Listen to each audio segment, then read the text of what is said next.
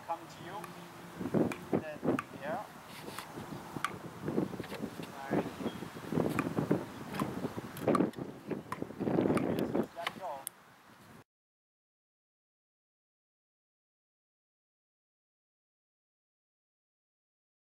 So what do you think about Aeropong? What do you think? It's really cool.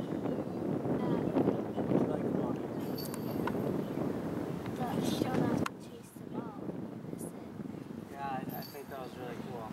Um, Okay. I did that. How how difficult was it for you guys to learn how to play?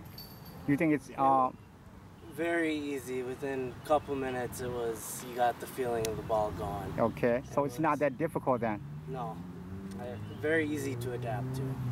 Okay. How old are you? Eight. Eight. And your brother is 21. 21. Are you in college? Yes. You think this would be a good uh, recreation game for the college student? Yeah, I, I see a lot of people having fun with it. Yeah. I mean, at her age and my age. So Okay. Okay. all around good product. Okay. Thank